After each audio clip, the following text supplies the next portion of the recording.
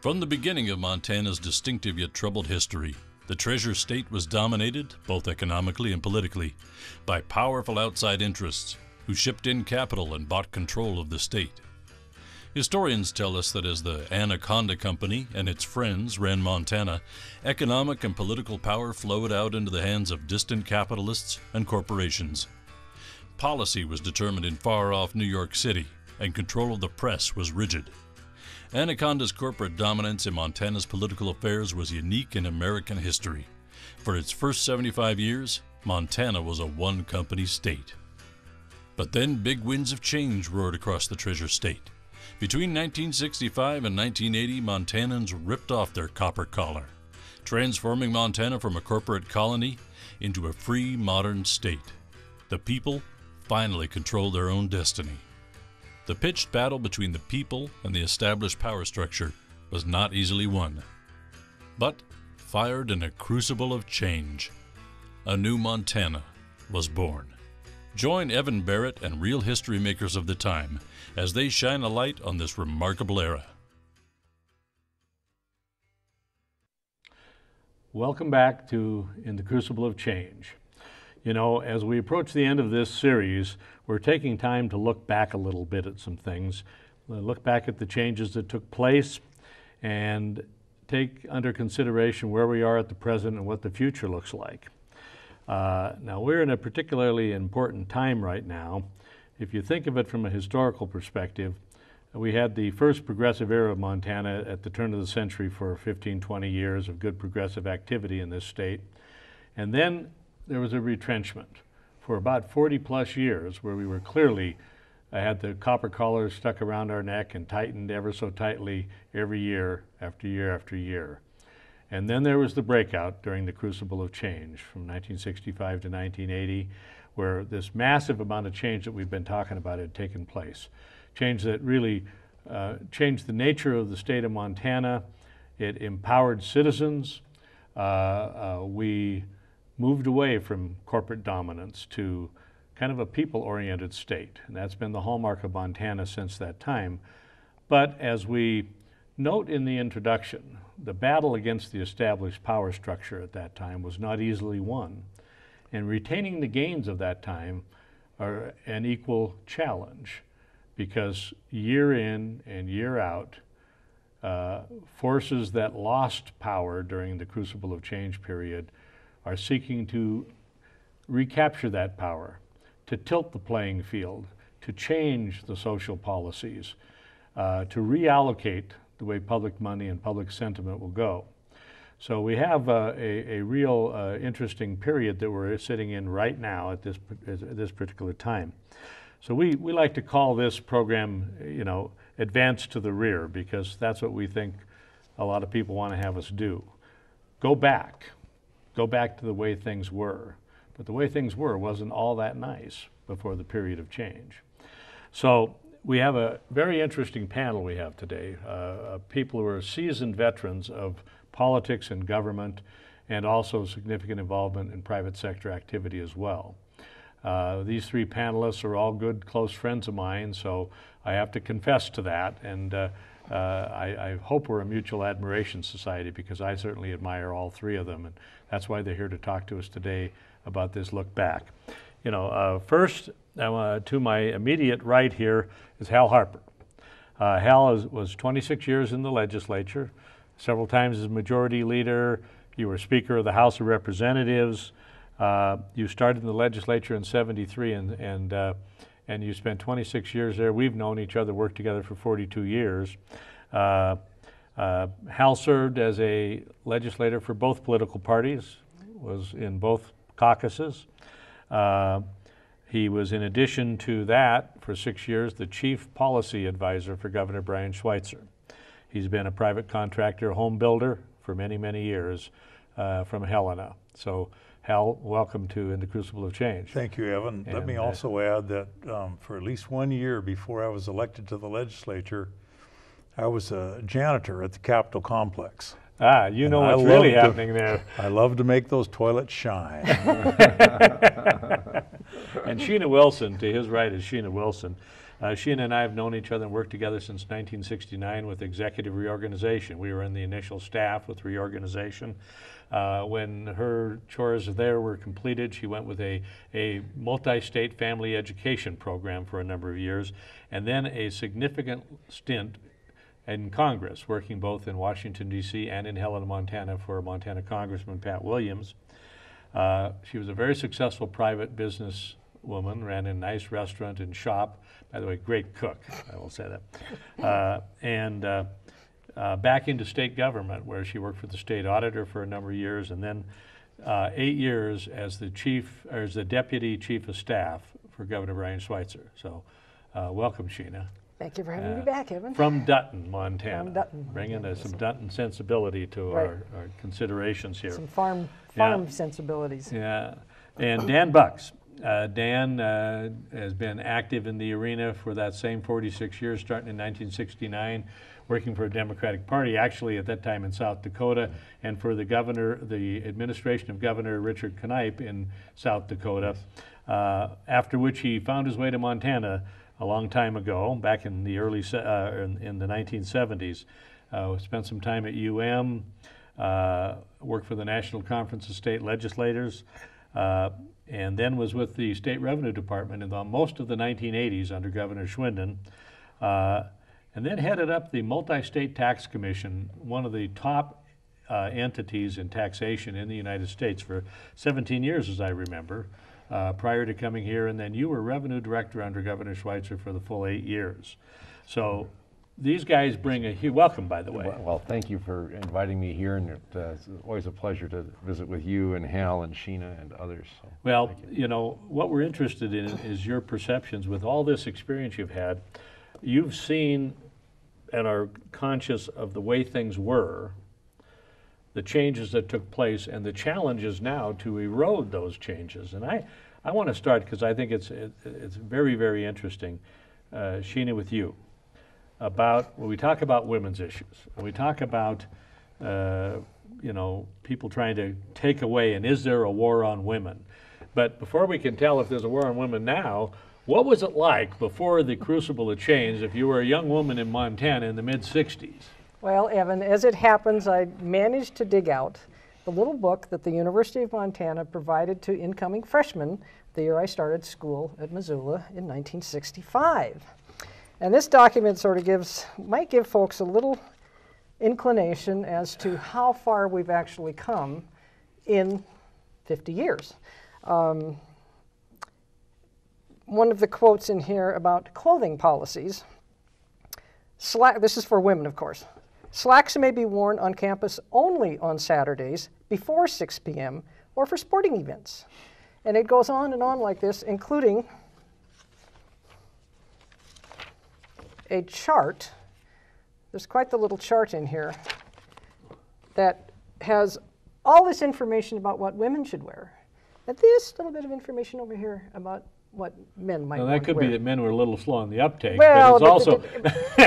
now, So- by the way, does this sound a little bit like a, a recent uh, bill that might have been introduced in the legislature about what kind of pants women should have and what type of uh, neckline? And Right. We, you know, we think we've come a long way since then, but uh, you know, we, we need to remember how bad. It, well, I shouldn't say how bad, but how it was in 1965 for What- women. What did it Did say in there about, about why women would, might want to go to college? Well, why college? It says, and it talks about opportunity to make something of yourself, and it lists a couple other things, and then it says, or perhaps you came just to find a man, a good man, and settle down. Whoa. So, you know, that was that was the sensibility of 1965. You know, and it was, of course, in loco parentis, they were looking after us, and women had very, very strict hours. The men had no hours. You know, the, dorms were uh, opposite of each other. I mean, it was just ridiculous. But Yeah, it was. Well, and I think it's important for folks to recognize because if you're of the generation that only knows what's been around for the last 30 years, Yeah.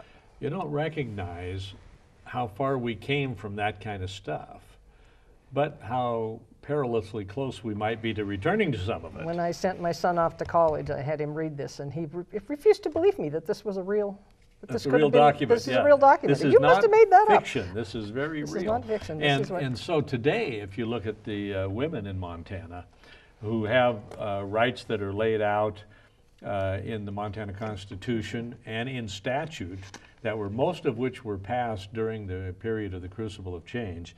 Uh, you know, what's happening to that? Is there a kind of a war on women going on right Well, now? Well, we, we have come a long way, but um, as you know, the governor uh, recently reactivated the task force on uh, pay equity, and uh, Montana still sits number 37 for equality of pay between men and women. Um, if you count only those people earning full-time work, which is the most generous way to use it, uh, we're at 75%. And there's no industry in Montana that pays women more than men.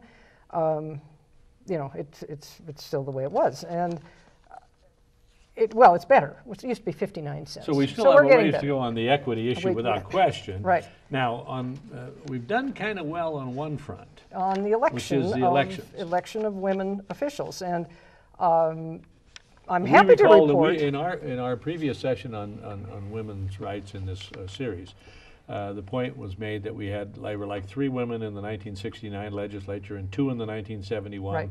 But then with the CONCON, we kind of exploded out with 19, almost 20% were women. But that broke the barrier, so to speak. And how, how, do- how will you stand on? Well, I was happy to note that this year, uh, Montana jumped into the top 10 of states with the percentage of women in the legislature. We now have almost one third women. I mean, I'd obviously like to see it half, but we have one third, which is certainly a lot better than a lot of other states. The lowest states are in the teens, uh, 15, 12, some 11%. And so we're at So we made progress on that front and, Right. and the constitutional front, but where's the erosion? What's, what's, what's happening with women's rights in this state? The erosion largely has to do, I think, with access to uh, reproductive health care Yeah. and health care in general. Obviously, the Medicare expansion will be helpful, but women in Montana have difficulties accessing health care, uh, reproductive health care, extremely so.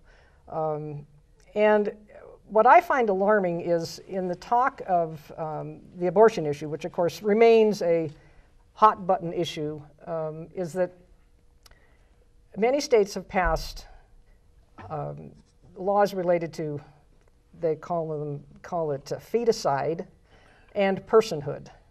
And under those statutes, um, I've been alarmed to read discussions about the number of women who are being criminalized, prosecuted under those statutes uh, for what a woman may think is a miscarriage. She may have taken a drug that wasn't appropriate or something, and uh, she was prosecuted. There's one woman that was sentenced to 41 years in jail. The case is obviously being appealed, and the you know people hope that that will be sent back. But there was another case where a woman was prosecuted who botched a suicide and in the process lost her fetus, and she was prosecuted under those feticide laws. And so, So- I'm very concerned that that these um, that those back these sort of, of that, huh? yeah that there's th- that that issue, the the freedom of women's choice in healthcare is is being eroded. Well, you know, the, the, the, uh, the right of privacy is very, very strongly written into the Montana Constitution. Most of this stuff relates to the right of privacy, but that doesn't stop the legislature from trying to make some moves on it. Were you going to say something? Well, you know, this is an issue that is still around that I guess I thought would be solved by this point in time. When I started in 1973, this was one of the first issues that I was involved in was Roe versus Wade, which had just happened. And the legislature did not want to pass a progressive law at that time. Um, people in this state, I think, have been stuck with a regressive law, but the courts always allowed people to look after their own reproductive health care. It, it just occurs to me the legislature, they are the policymakers, they're the ones that decide when life begins. Now, we've got a policy that life begins at birth, and that's why you have birth certificates. If life begins at conception, who's going to issue the, concep- the conception certificates, and how are they going to know? Well, you know, uh, one could be flippant about that, but in fact, it's a serious question. It's a very The- serious the- question. If those, if those bills pass and they're upheld by the courts, it is important to note that these ev- these things that have happened in other states, they haven't happened in Montana, but that doesn't mean there haven't been a lot of bills put in No, to make it happen. There has been a lot of So bills. at this point, aren't there a lot of activities in the legislature where people are having to fight back against these uh, kind of radical changes that would put politicians instead of doctors in charge of the decisions about women's bodies? Right. And it's happening all across the country. It's, Uh, so it's a threat everywhere, including Montana right Yeah. now. It's a, you know, it's an important area. Uh, a big area, you know, when, when I when I watch observe the legislative process and I watch how the news reports on the legislature, especially now that I'm kind of back out of the mainstream of that activity, it's it's that the most important uh, issues the, from the re- what gets reported in the paper are taxes, and maybe that's because everybody takes a, writes a check for taxes or takes money out of their pocket. Taxes seem to be a really important issue. They almost are usually the fulcrum upon which things happen in the legislature, and some changes occurred in the Constitution uh, on our tax structure that were really, really progressive, but there has been a serious effort, continuing, ongoing effort to erode many of those. Dan, what happened to the Constitution quickly, and then Well- how do we? Well, first of all, let me let me do a big picture thing, which is is that uh, historically Montana has had a reasonably progressive ta- progressive tax system, one in which the uh, legislature, you know, I would label it a sustainable and equitable system up to a certain point, and the legislature would decide each year what the priority public needs were, and then would try to match the revenues with those particular needs in a sustainable and equitable way. And Montana has always con- been concerned about equity, but the 1972 Constitutional Convention, to get to your question, reinforced that in a couple of ways. One of it was, one and one particular way was to strike a blow for greater equity in property taxation to make sure that everybody's property was valued as equally as possible, individuals and businesses, and, and that the, the, the tax payments for property taxes were distributed as equitably up as possible among all taxpayers. That was, and, and the 1972 Constitutional Convention created a statewide system of valuation to guarantee, to help guarantee that equity. It also gave expanded rights to citizens to be able to uh, independently appeal their property taxes, which is important uh, from the standpoint of making sure that the, the property tax system works well and effectively. But the whole, when you, and, but when you also read the Constitutional Convention transcripts, you find out that the delegates to that convention were very concerned about equality of taxation overall, that everybody contribute uh, in relation to their ability to pay and the benefits that they receive. And everyone includes the businesses as well that enjoy substantial benefits from an educated workforce, from laws that guarantee the functioning of contracts and of free markets, and infrastructure that benefits businesses as well, as well as remediating environmental problems that are caused by certain kinds of, uh, of act- economic activities. And so uh, Montana, and because Montana also has rejected historically a sales tax, Montana has had a more progressive tax system than the rest of the country, reinforced by the 72 Constitutional I think Convention. even right now, we're considered the second most fair tax structure to regular people in, in, in the nation. First but- or second, yeah, but which, which, which is relative because in fact, all of the state and local systems are getting less equitable than they used to be, Right. which is a national trend. They're sliding all- backwards, They're, they're yeah. sliding backwards and, and we're still holding our own, but we're not as equitable as we used to be. And that's true of all states, Mm-hmm. nationally and he- here in Montana. So there's a real onslaught by, by, is it fair to say maybe the wealthy and corporate interests? The one percent and the and the uh, uh, and the corporate interests, and in in in particularly in the late '90s here in Montana, several things happened to cut property taxes for uh, large corporations, tax rates, uh, expanded exemptions. One in particular, a very broadly and vaguely written uh, exemption for intangible taxes that uh, intangible property that can corporations can use to to uh, decrease their uh, their property taxes significantly, whereas others can't. And uh, the and also a, a special deal for the, the major railroads in the state, uh, and other measures that By the way, is it, uh, uh, being it's a kind of a zero-sum game, if those folks pay less in property taxes, it shifts over to regular homeowners. Exactly what happened. There was a property tax shift that started happening at that particular time. Now, now the um, uh, because of those particular measures. Then in 2003, there was, a- and this was all under. No, let- let's let's let's do the the big picture thing again. If before we had a kind of sustainable and equitable fiscal path of trying to figure out what the priority public needs were and then funding it in a sustainable, adequate, and equitable way. By the late 90s, and this had come earlier in the 80s nationally, there was this notion that, well, no, really all you have to worry about is giving tax incentives to the, to the, to the very wealthy and to corporations, and they'll make the rest of us rich. Uh, you call it trickle down, call it supply side, whatever. And we began to practice it in the late 90s a bit here in Montana with those property tax changes, and also in 2003 This was the famous, what George Herbert Walker Bush, Bush one, called voodoo economics. Lower taxes, more money. But it didn't work that way? It didn't work that way. And it didn't work that way in Montana. In fact, you cannot trace uh, any economic benefits directly to the tax cuts that were put in place. In, in particular, in 2003, the, um, uh, there was legislation to roll back the top rates on the income tax in Montana and also add a capital gains tax credit. It went into effect in 2005.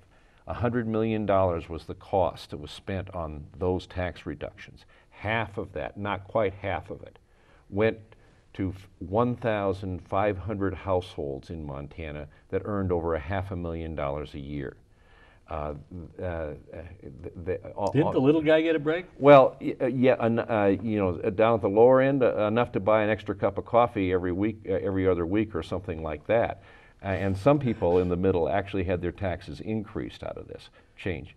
But nonetheless, and then um, uh, after five years, the tax income tax breaks for the wealthiest Montanans had cost the state about 250 million dollars in revenue that could have spent on ed- been spent on education to help both improve the quality of education and to keep property taxes down for everybody. But instead, it was spent on these incentives for supposed, supposedly economic growth. So we looked, we looked back at what happened as a result of this. We looked back as to whether or not those who had benefited most actually went, uh, created new jobs in Montana and we couldn't find any evidence. We looked as to whether or not the businesses they owned had actually created jobs. And the answer is we could not find the evidence for that. And secondly, the other thing that those tax cuts were supposed to do, on those income tax cuts, was to enable more, uh, was to incentivize, that's the incentive word, wealthy people to either stay here or to come to Montana and make the rest of us rich by being, just simply by appar- apparently being here and, um, and that. And when you looked at the migration data in and out, it was a wash. There was no change.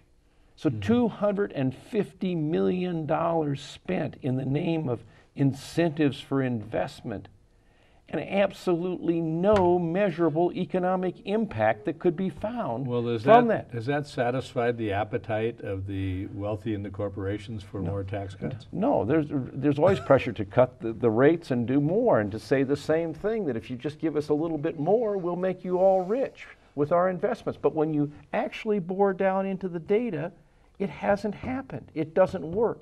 Instead, what happens is you have less money to invest in the things that help everybody lift themselves up education and infrastructure and the kind of human services that enable people to uh, progress forward and contribute to society. Would you, would you suggest that, or agree maybe, I'm, I'm thinking that maybe one of the reasons why, uh, I mean, this is an ongoing battle. Year after year after year, the legislature meets, there's always someone in looking for a special deal. And, and when that happens, uh, is that not a product of average citizens don't have lobbyists. Those that need to want special deals have a cadre of lobbyists that lurk around the hallways and try to get it done. Yes, it- it is- and certainly the power, the power of those who have resources, corporations and the wealthy, to have their voices heard is much easier. But there's another part of this that I want to point out, Evan, Yep. here as well, that has to do, go back to the 1972 Constitution. The best, uh, uh, the, the best, uh, the, the best uh, uh, one of the best things in the 72 Constitution is the reinforcement of the public's right to know. But the public doesn't know enough about how the tax system works. And among other things, we need to, um, uh, we need to open up key data from corporate tax returns so that people can see who is paying and who isn't paying taxes and why, and if credits and tax breaks are enacted, whether or not they're working or not. There isn't enough information available to the citizens about the operation of the tax system in terms that they can understand. All they're told is very complicated things. It needs to be simple. Who is paying what? Is it fair? Is it equitable? And if you're going to give a special break, does it actually produce a result or not?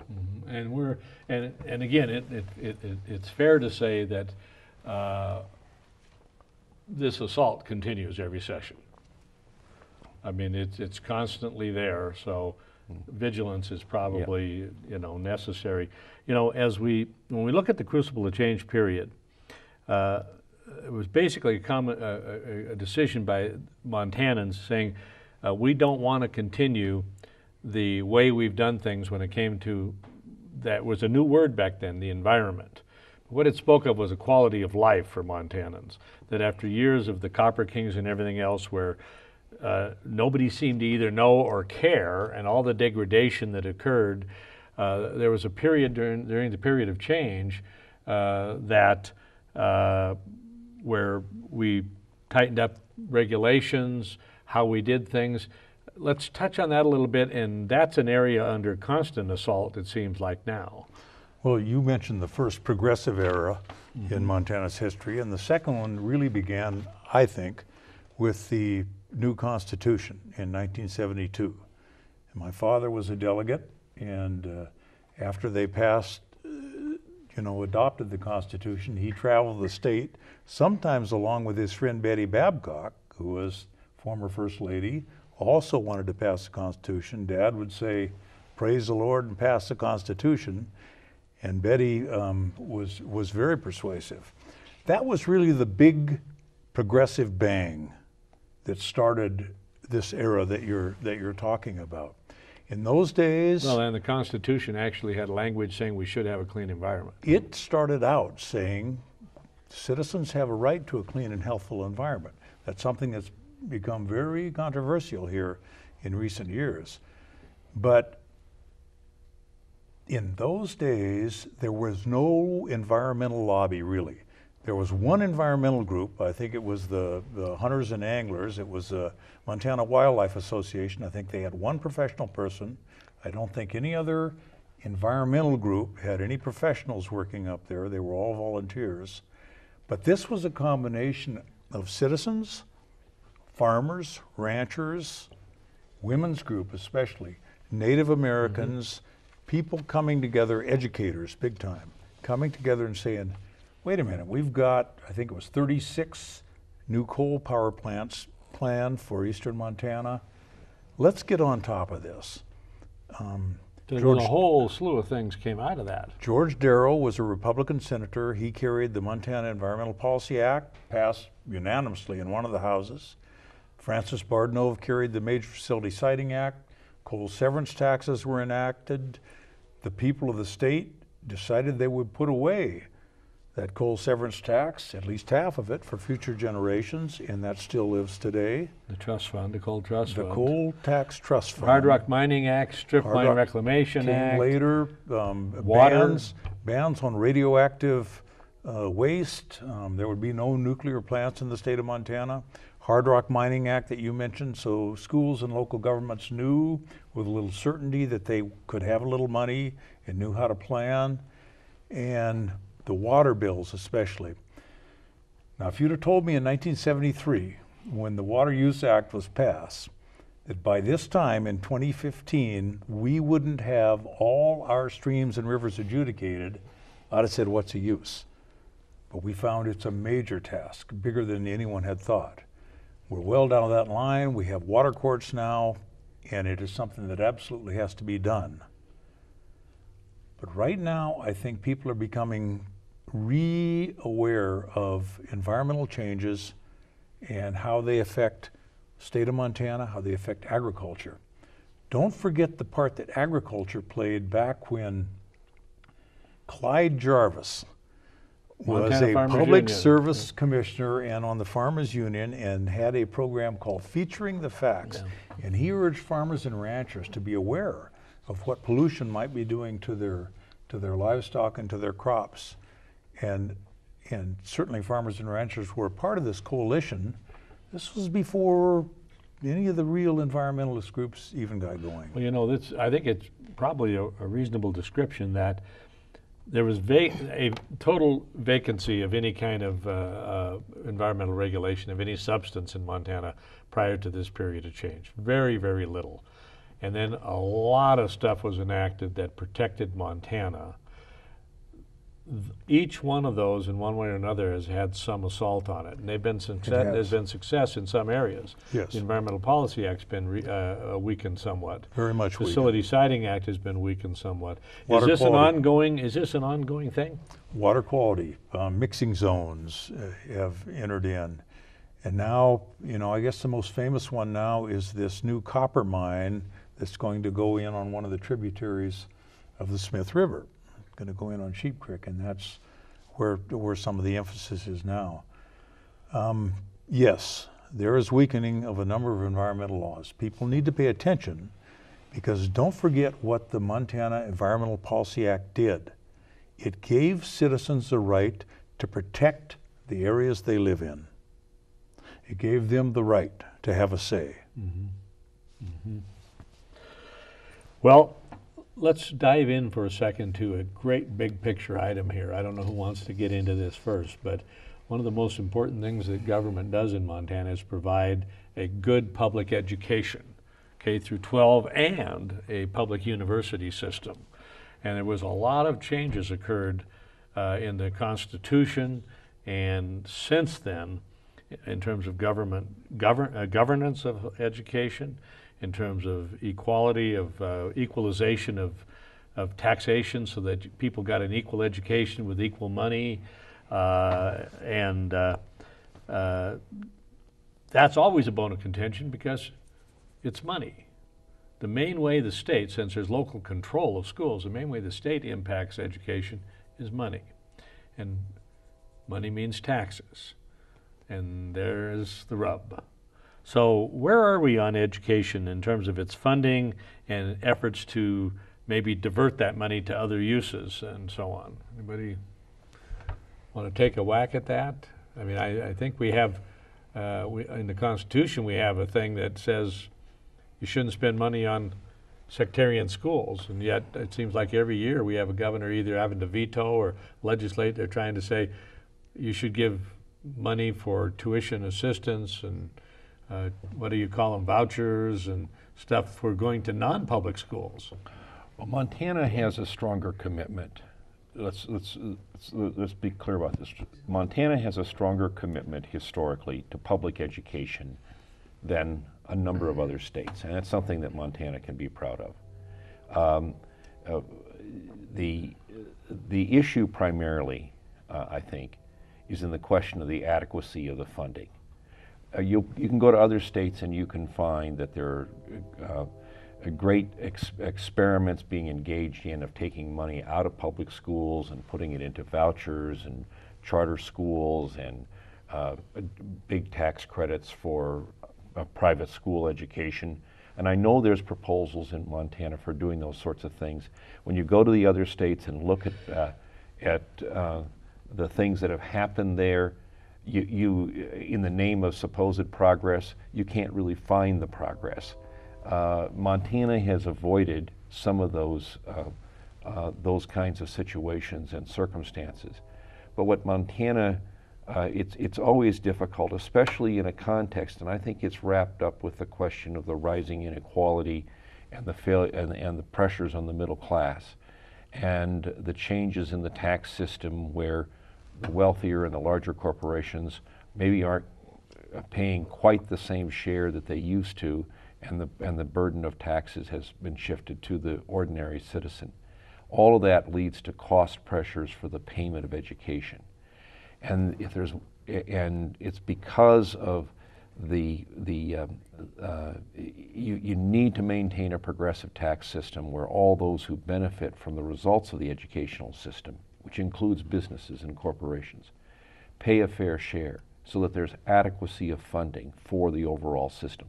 Certainly there should be accountability, and those are always important discussions as to how accountability happens.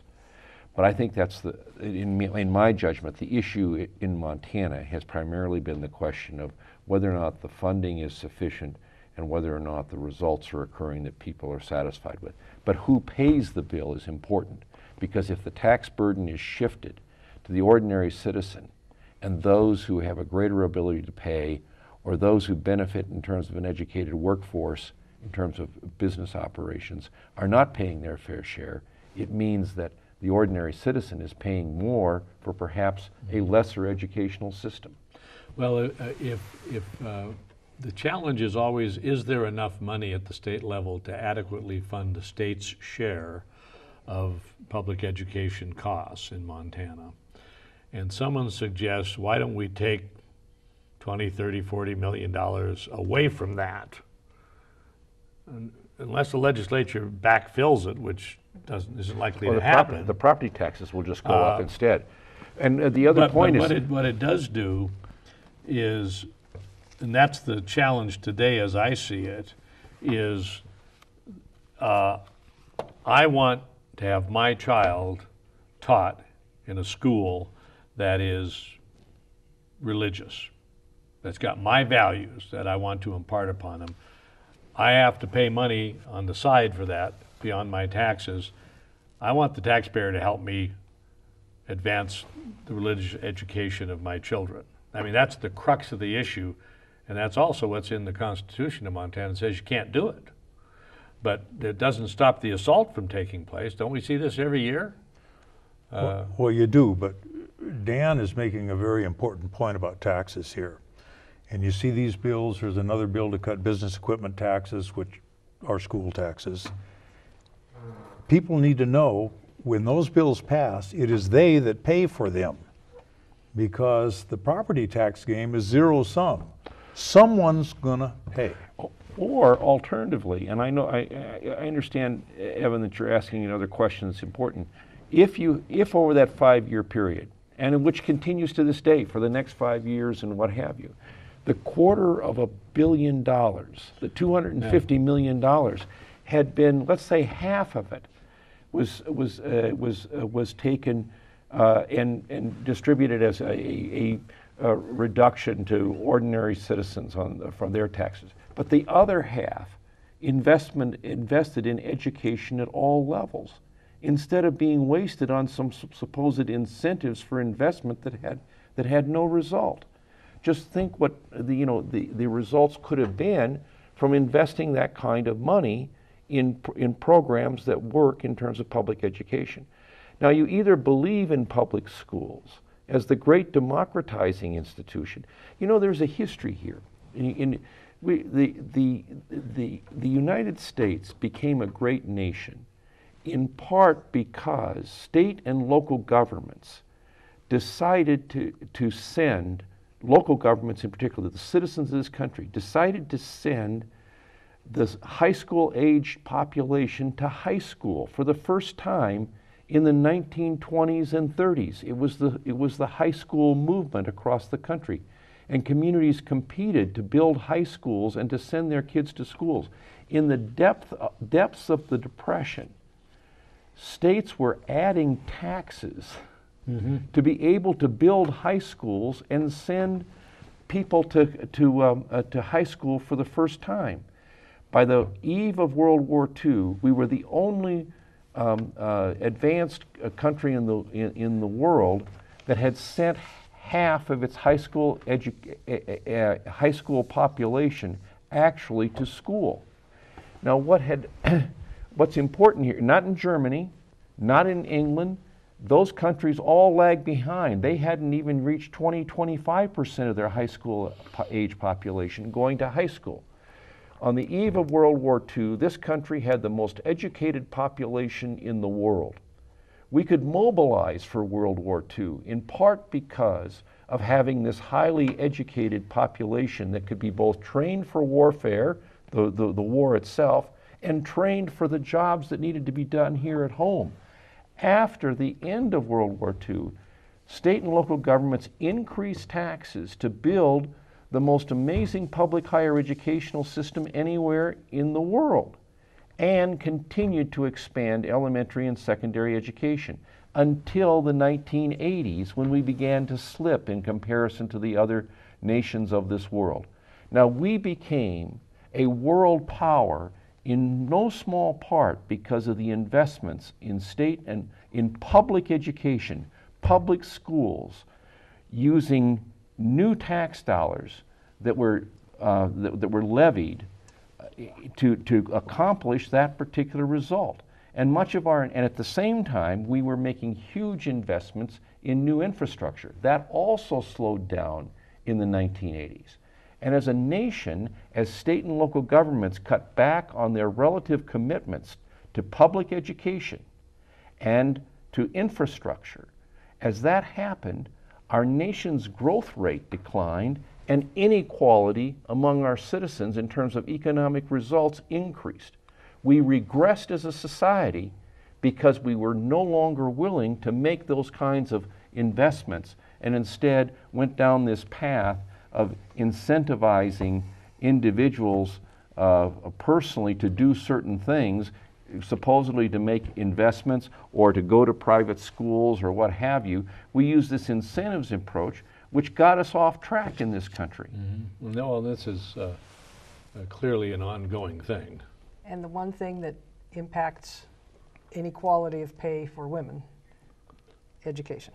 Mm-hmm. You narrow that gap. The higher level of education you go, the narrower the gap becomes. So education is vitally important to making.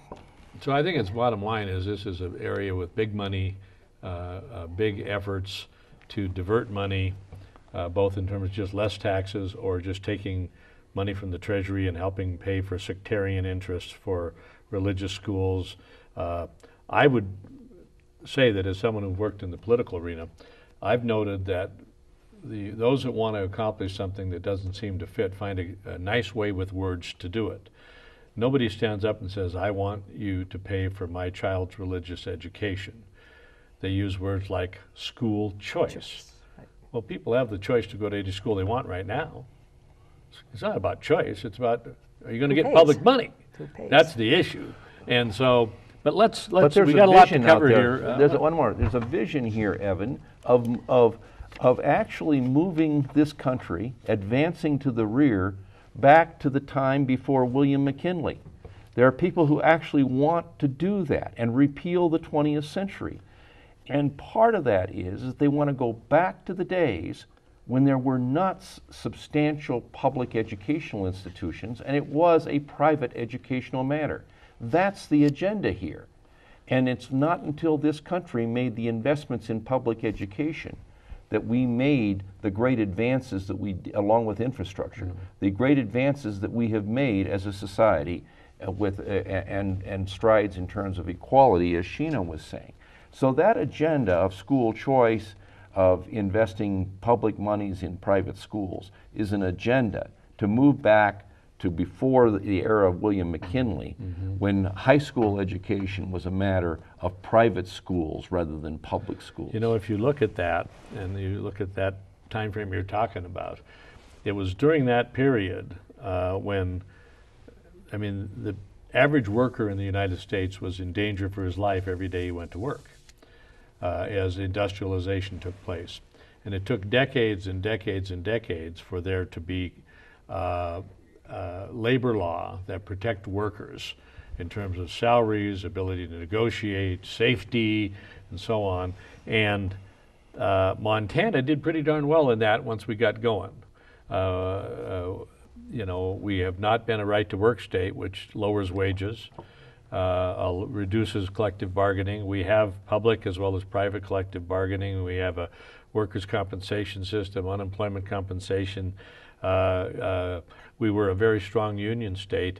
That all emerged out of that period, but there's been a lot of erosion nationwide, big time, which, by the way, decline of union households is a direct correlation in the decline of the middle class. It's worth noting.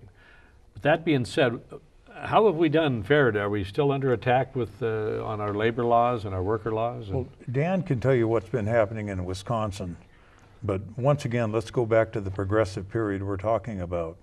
Unions were a big part of that progressive era. Unions worked alongside with all the citizen groups that we mentioned before. And um, those unions would stand sometimes alongside environmentalists and support environmental laws. And you know what? Those environmentalists would stand up beside unions and support laws And that with- unions and needed with and against right to work, right to work laws. And that's probably the only reason that Montana is still not a right to work state. That's another reason that we enjoy at least higher wages in the state of Montana. But there is something happening here, and um, I can't exactly explain why, but we've seen for the last few legislatures an unwillingness of the legislature to abide by agreements that the unions have made with the administration. And I, Public employee unions. the public employee unions, and, and I don't know, Dan, you've been watching this uh, from the outside. Well, doesn't this, you know, that, that, it looks as though the legislature is saying, you can have these collective bargaining uh, agreements, but they don't mean anything.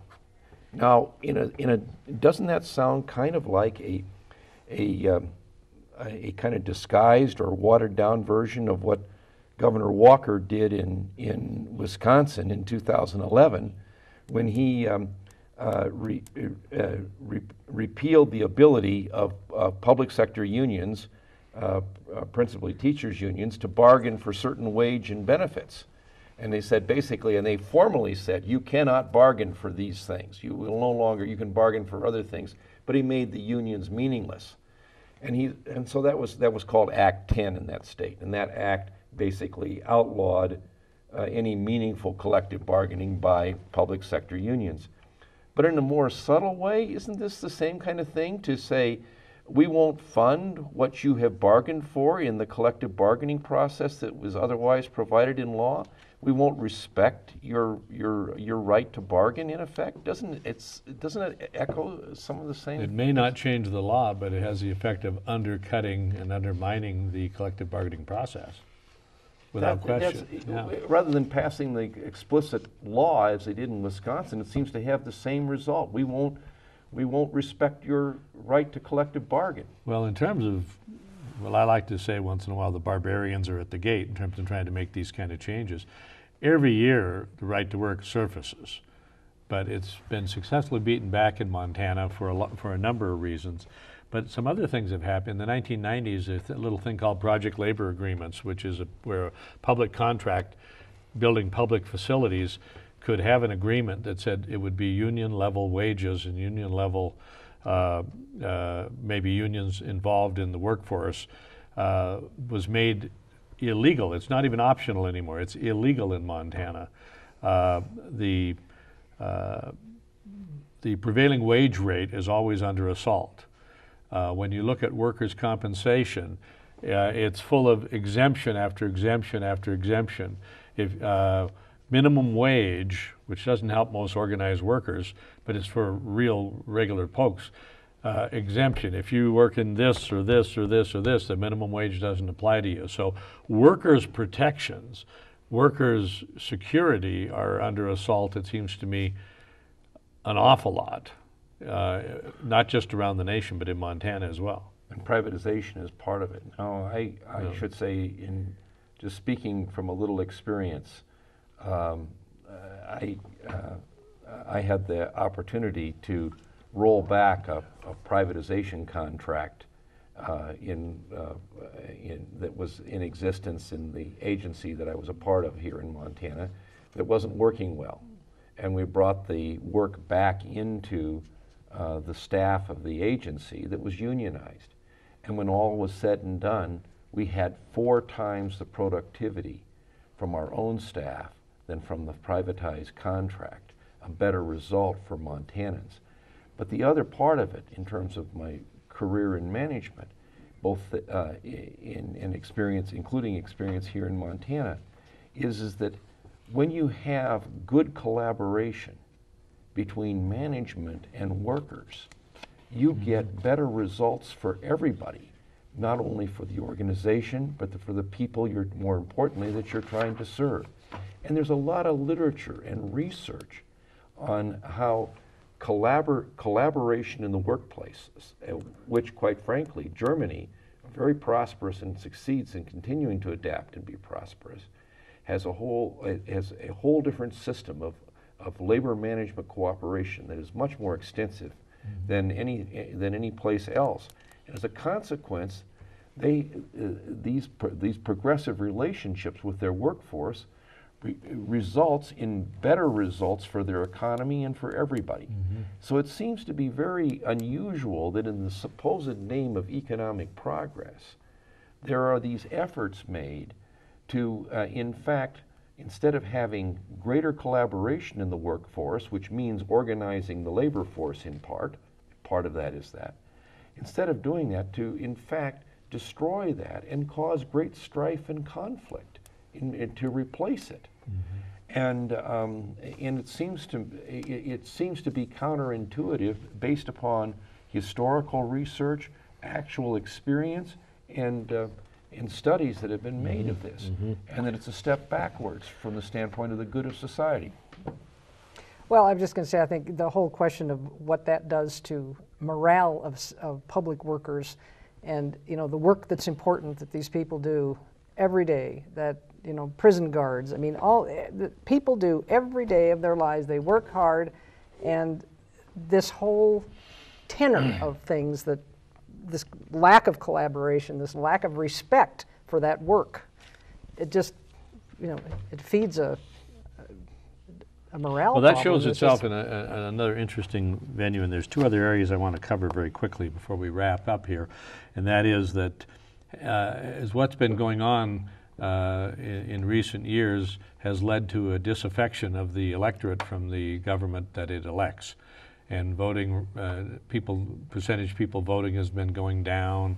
Uh, voting rights are under a little bit of assault. Uh, dark money is in elections. Uh, people don't want to have a strong commissioner of political practices. They don't want to stop dark money. Now, we, by the way, the recent legislature just did a wonderful job of right. doing something about that.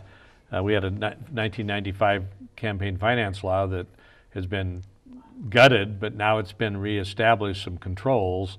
Uh, uh, voting rights of being able to have same day registration, there was an effort to get rid of that. Went on the ballot, the people slapped them back. Right. People said, We do want rights to vote. We do want to be able to participate. But is that an area where we have to be vigilant? Uh, well, I think the 2014 election was disappointing. Um, I think young people had great hopes for President Obama, and when those didn't, it didn't, the miracle didn't happen um, through no fault of the president. But, but aren't uh, the people in Montana progressive? Has that shown itself on the ballot? Well, it has, as a matter of fact, and I. Um, in addition to the same-day voter registration, which we kept on by voting the correct way in 2014, we started back in, in 2006 when efforts to pass an increased minimum wage and the legislature didn't make it year after year after year. It was on the ballot through a public initiative, and the people passed, did it. People did it. They minimum wage. Um, we expanded the children's health program, Healthy Montana Kids, um, passed by more than two to one margin in 2008. The people did it. Yeah, people did it, and people got tired of what payday lending was doing to uh, our, our, some of our most vulnerable citizens. And in 2010, people got rid of payday lending. Um, and in 2012, we responded to Citizens United with a ballot initiative that said corporations are not entitled to constitutional rights. The people did it. So I think it's there's some hope there. The hope may lie with the people. The hope lies with the people. Exactly. You know, it's a very interesting uh, thing. As long as the people are not dissuaded from participation by this constant, ongoing erosion and fighting by people who have a lot of money, it Yeah, gets a little bit tough. Money is a huge issue with both these ballot initiatives and in elections in general. Well, we're going to have to wrap up here. Uh, I want to ask each of you what would be your recipe for success moving forward in terms of maintaining progressive advancements in Montana and power and uh, to the people of Montana? Well, people have to maintain the power to themselves. When you've got only 40% of the people voting, that's not the way to keep power to yourself. People need to register, they need to vote, they need to ask candidates questions, they need to hold them to those answers, they need to watch. And if you want this to stay the last best place, you need to be an active citizen participant in your government. Sheena, what would be your I think obviously what Hal said covers a great deal of it, and I think it, it comes down to paying attention. I know people don't have time. They're tangled up with their personal lives, they're tangled up at work. There's just, there's just not enough time to focus on the issues that are impacting you, but you need to pay attention. You need to read the news, you need to talk to people you trust. If you don't have time to read the big, thick report about something that you're concerned about, find people who do know. They'll talk to you about it. Um, issue groups. I mean, I just think what happened with Medicare expansion, Medicaid expansion in Montana, the organization that came together to bring that coalition back in, you know, bring a huge coalition of people together again to do the collaboration that Dan talked about resulted in a in a, a great success. A compromise, but a success. But people have to pay attention. against mag- huge money Huge money, influences? yeah. Huge money influences.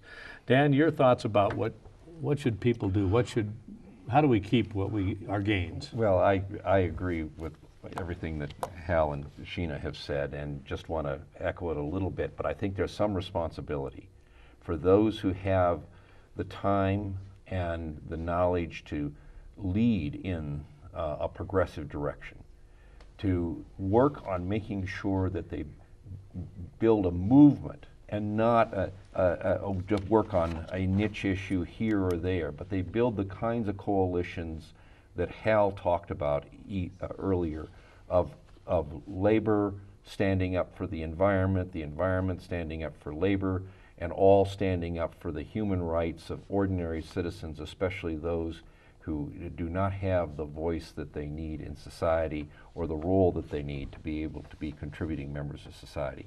The vision of the common good needs to be communicated in a way that shows that everybody has a stake in it, and if they all work together, it can be, uh, uh, it- it- the society can be improved. One last thing, much more transparency in government, especially about corporate matters, opening up tax returns to a greater degree and other kinds of things like that, so people know. Well, I want to thank all three of you for participating with this, and I want to finish with a closing thought, and that is that these progressive changes fit well with the people of Montana.